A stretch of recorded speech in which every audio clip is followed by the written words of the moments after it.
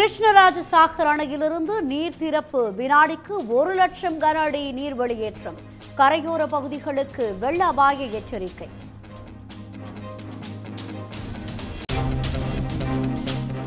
மேட்டூர் அணைக்கு நீர்வரத்து இருபத்தெட்டாயிரத்து தொள்ளாயிரம் கனடியாக உயர்வு. அணையின் நீர்மட்டம் தொன்னூறு அடியை கடந்தது.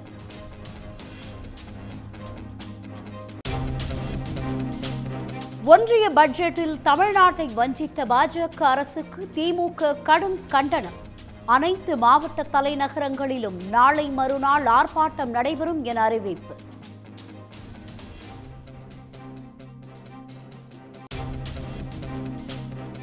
ஒன்றிய பட்ஜெட்டில் தமிழ்நாட்டிற்கு நிதி ஒதுக்காதது வருத்தம் அளிப்பதாக அதிமுக முன்னாள் அமைச்சர் ராஜேந்திர பாலாஜி விமர்சனம். பிரதமர் அனைத்து மாநிலங்களுக்கும் பொதுவானவர் எனவும் காட்டு.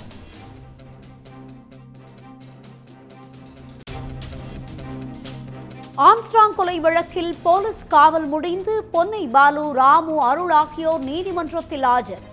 பாஜக முன்னாள் நிர்வாகி அஞ்சலை மீது மேலும் ஒரு வழக்கு பதிவு.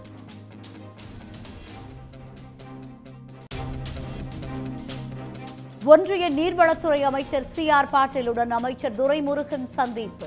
காவிரியில் தடையின்றி நீர் கிடைக்கவும் குண்டாறு இணைப்பு திட்டத்திற்கு நிதி ஒதுக்கவும் வலியுறுத்தல்.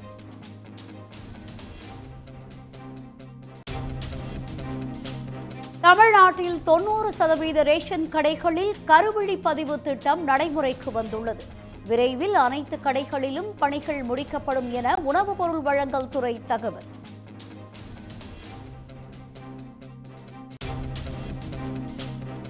நீட் தேர்வு ஆள்மாறாட்ட வழக்கில் தேசிய தேர்வு முகமைக்கு உயர்நீதிமன்ற மதுரை கிளை சரமாரி கேள்வி. எத்தனை இடைத்தரகர்கள் கைது? சிசிடிவி கேமரா பதிவுகள் இல்லை. விண்ணப்பங்கள் வழங்கப்படவில்லை எனவும் காட்டம். உதகை மற்றும் குன்னூரில் பலத்த காற்றுடன் கனமழை. கேத்தி காவல் நிலையத்தின் மீது ராட்சத மரம் விழுந்ததில் நல்வாய்ப்பாக உயிர் தப்பிய காவலர்கள்.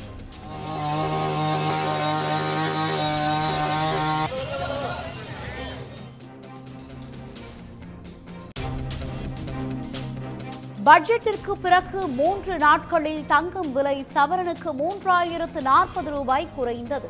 சென்னையில் ஆபரண தங்கத்தின் விலை ஐம்பத்தி ஓராயிரத்து நானூற்று நாற்பது ரூபாயாக நிர்ணயம்.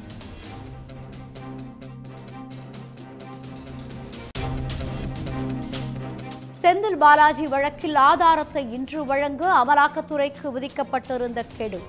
வழக்கு பட்டியலிடப்படவில்லை என முறையிடப்பட்டதை அடுத்து ஆகஸ்ட் ஐந்தில் விசாரணை என உச்சநீதிமன்றம் அறிவிப்பு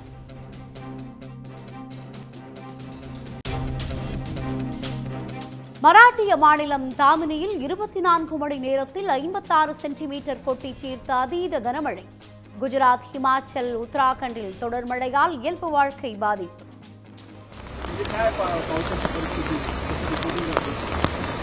Thank. பாரிஸ்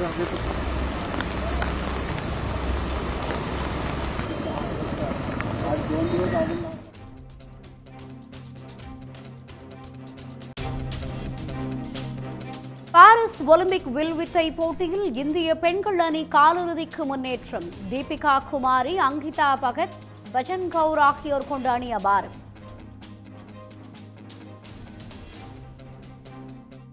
உடனுக்குடன் செய்திகளை தெரிந்து கொள்ள சன் நியூஸ் பெல் ஐக்கான கிளிக் பண்ணுங்க.